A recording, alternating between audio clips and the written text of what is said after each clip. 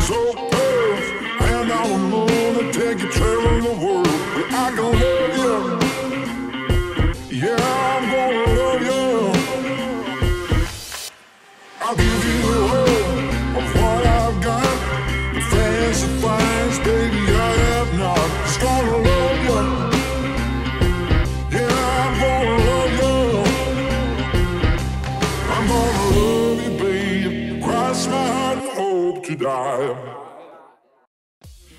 In last week's episode, we continued our Atlantic voyage. We had some of the best sailing conditions we've had in years, my moustache became even more fantastic, and we carried out some field repairs. This week, we are finally in sight of Horta. There's no other way to tell you this. I can see land. Um, it's just incredible. They say that when you're at sea, you see things and your sense of perception changes. But for the last two hours, we've had some fairly intense fog just hanging over the uh, boat, and the visibility was down to about I don't know, two, three hundred feet at times. We've had the radar on. So I've just been sat here, kind of like being doubly cautious, and I suddenly looked over and could see land, and it's a beautiful sight. It's quite an emotional sight, actually. It's uh, you know we've been out here for 16 days, and I can now see the clear outcrop of of the Azores.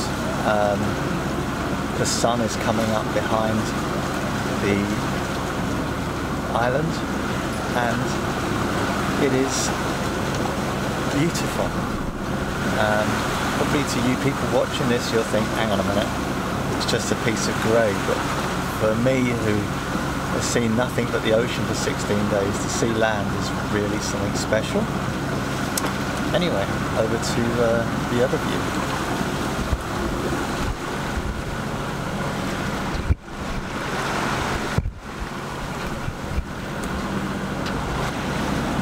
Just woke up and we can see land.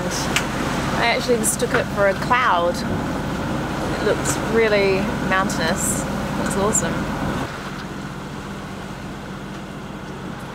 We are now 26 miles from Horta, and uh, I was hoping to come on watch this morning and be able to see land and kind of smell land. Unfortunately, no. Uh, we've got fog. Fog of all the bloody things. I haven't seen fog since we left Europe. Um, genuinely hoping that it burns off in a couple of hours as the sun comes up. But not a great fan of fog. We've uh, furled the jib away and um, just because we're also getting headed by the wind, the wind's come round again, I think is just a, an effect of being close to land. But, um, so I've got um, the plot is split in half. The top half is kind of the plotting bit with the AIS, and the bottom part here is a radar. Um, so you know, I always keep the radar on when there's fog. Yeah, a little bit of a challenging trip. It's said 16 days, and uh, to wake up on literally the last morning, find the wind heading us, and there being fog. So hopefully we'll uh, be reporting back later from from Horta in the Azores. Uh, that's all I have to say on that. So, after 16 long days and nights from Bermuda, we're finally in sight of land. For those of you interested in the geography, the Azores are an island chain a thousand miles from mainland Europe owned by Portugal, and we're heading to Horta to rest for a few days before the final leg to Europe. Automatic control, automatic control. Yacht Ruby Rose, over. So what are your thoughts, Missy Moo? Well, I- yeah, we're here at last. After two and a half weeks at sea, we're finally in water, almost. So I'm pretty bloody excited. I'm excited for a beer. I'm Bring excited- your daughter to the Horta. That's an Iron Maiden song, by the way. Yeah, I think uh, as soon as we tie up and clear in, my first mission will be getting a Portuguese tart. I want steak, chips, six beers. Yeah, and then that will be dinner. Steak, chips, beer. Or possibly some red wine. Right. Rally control, rally control, Zealand. Uh, Zealand, rally control, go ahead. Uh, Ruby Rose is trying to call you, just uh, to relay, over. Thank you, Zealand. I haven't heard anything yet, so I guess they're two miles away from the finish line and behind the rock. Ruby Rose, Ruby Rose, Ruby Rose in Zealand, Do you read me on 72, over.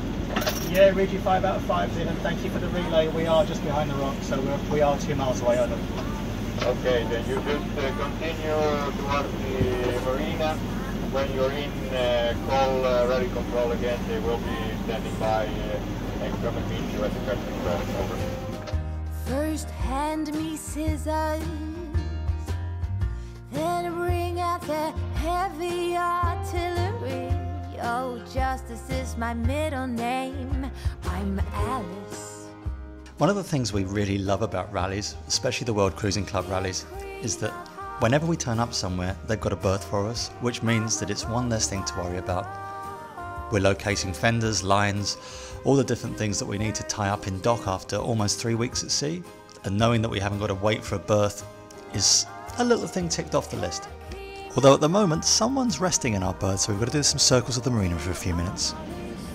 So you're going to turn up to pier when you come round the harbour wall and just mill around in the bay where the anchor yachts are. One peculiar feature is that I can get the boat across an ocean, across two, three thousand miles, but put me inside a marina and I am completely lost. I need all sorts of navigational aids, I need Teresa to help, I need the World Cruising Club to help, and eventually we find our berth. One thing I don't do on passage is drink anything caffeinated, and as you know, I absolutely love coffee. So as we get to Horta, it's time to crack open a can of Coke and get my first hit of caffeine for three weeks. This is going to keep me awake and hopefully keep me partying into the night. Ruby Rose, rally control.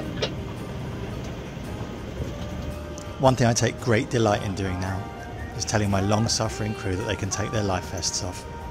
It is such a relief. We've literally lived in these things for almost three weeks.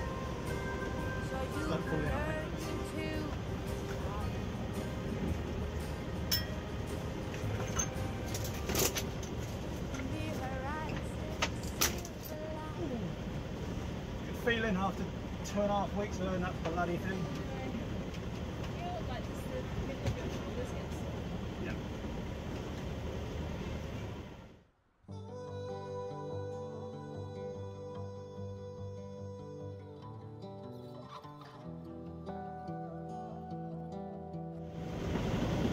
You see the rib in front of you, Nick? Yeah, got that, mate. Yeah, that's where you'll go. Follow him. All right. But the other rib hasn't come out the pen yet, so don't come too quickly. It's Been 16 days, mate. I'm uh, happy to wait. Touch my lips as I breathe for the two of us.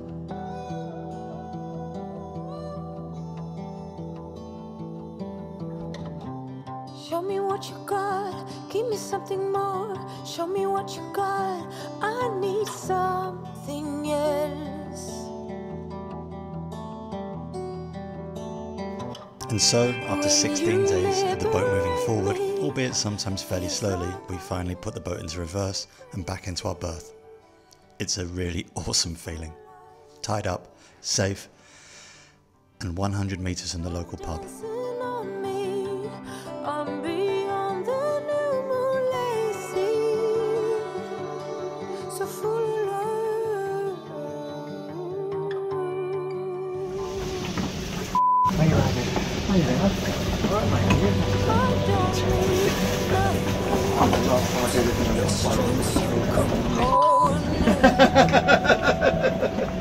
However, first things first, we've just arrived in a new continent and we need to clear in with customs and immigration. We can't film this for obvious reasons, but once we're cleared in, we can lower our Q flag, tidy the boat up, and then head off to celebrate 2,000 miles and two and a half weeks at sea. And what better place to do this than Peter's Bar, a bar that now is celebrating its 100th year to welcome sailors, fishermen, and navigators as they cross both ways across the Atlantic. Sorry. We're here. I've been dreaming of this moment, a night in a pub. My beard is part of my face. The feels right in front of my face. Sorry.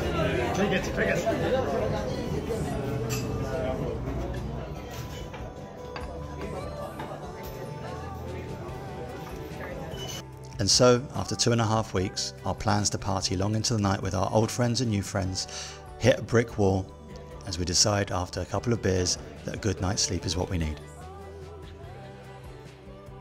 Join us next week as we explore amazing Horta, repair the boat and get ready for our last thousand miles at sea.